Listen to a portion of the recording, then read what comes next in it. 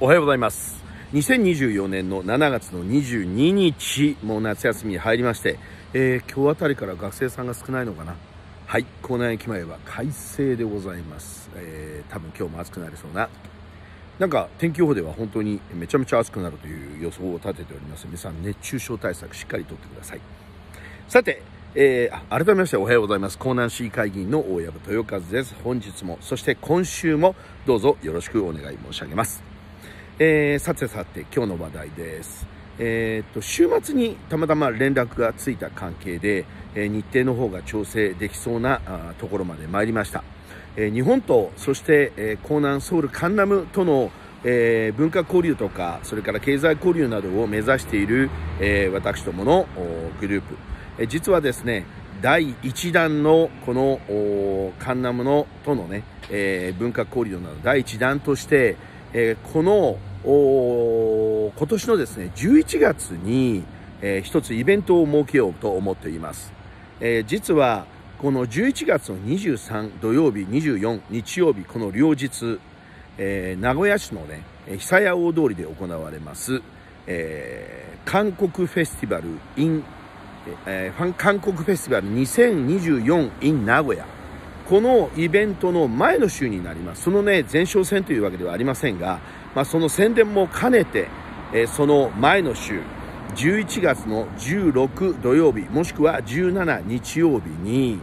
えー皆さんキムジャンってご存知ですか？キムジャンというのはちょうど11月12月の涼しい時期になりますと、まあ、寒いといった方がいいですね。寒い時期になりますと韓国では、えーたくさん取れる白菜を1年分のキムチを作るためにそのキムチを作る休日を取られるというお話です、えー家族総出でこのキムチ作り本物のキムチ作りですねこれをやります。そのキムチ作りの本物をこの江南の地でやろうということになりまして、えー実際に名古屋のあの有名な韓国食材の店明宝さん名古屋の名に峰という字を書きます。明宝さんこの田中社長のアポがなんとか取れました、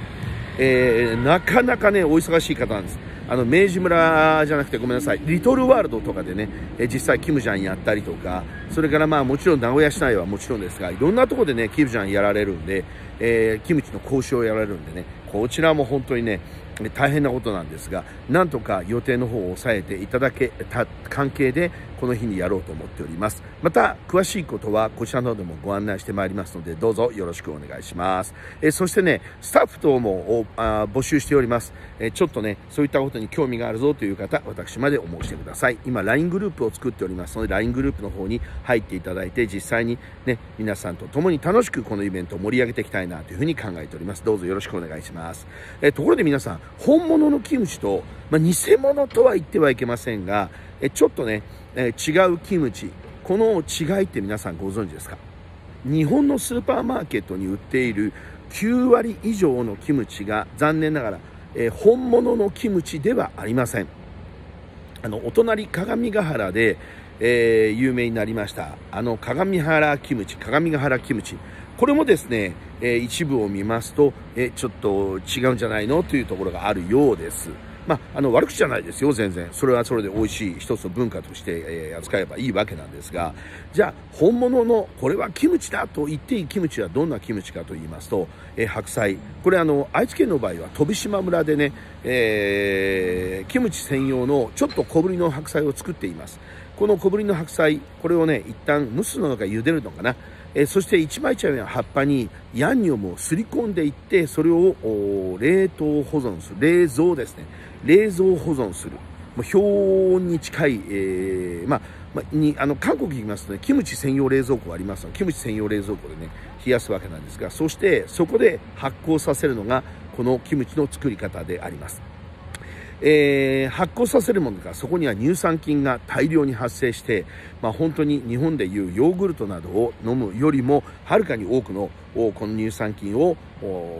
実は発生するということで実は大変な健康食品だというのがこの本物のキムチです。じゃあそれに対して本物ではない偽ではないですよ。本物ではないえキムチ、え韓国の方あ皆さんがこれはちょっとキムチって言っていいのかなという疑問点が湧くキムチについてはどんなものかというとキムチ液という液体があります。この液体にこの白菜をつけると本当にキムチのようなものになるんですね。まあ、残念ながら長期発酵等してないので乳酸菌の数は本物のキムチの本当に、えー、あるかないかというぐらいのレベルでだそうです。味自体はキムチっぽい味は出ます。しかしそれは全て人工的に作った味ですので本当の酸味ですとか甘みですとか深いねコクとかうまみなどは残念ながらそこには出ていないというのがその本物ではないキムチだそうです。名宝さんで作っているキムチは全て本物で今度このキムジャンで江南で行うキムチも本物のキムチを皆さんと一緒に作ろうと思っていますので一つよろしくお願いします。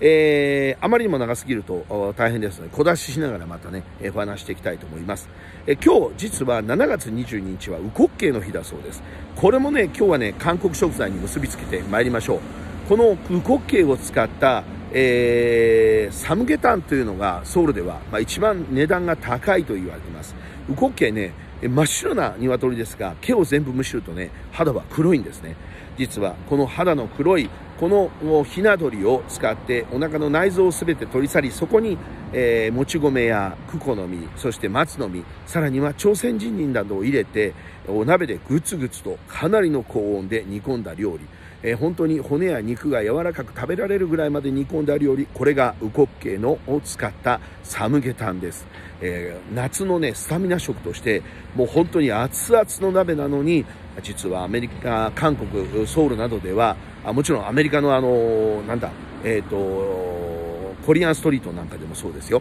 こういったとこでも本当に飛ぶように売れて行列ができるという、えとんでもないこのサムゲタンの店、私も何度か行列に並んだ記憶があります。ぜひこの夏、えサンゲタンが、え今ね、えレトルトパックで売っている店が結構通常の店でも売ってますので、スタミナ料理として食べてみてください。さあ、週の初め、月曜日、え今日も本当に暑くなりそうですから、水分をしっかりとって、あとね、あの、涼しいところ行ったら、まあ、あんまり出ないようにね、えー、してください。では、今日も素敵な1週間、そして1日になりますように、いってらっしゃいませ。ごきげんよう。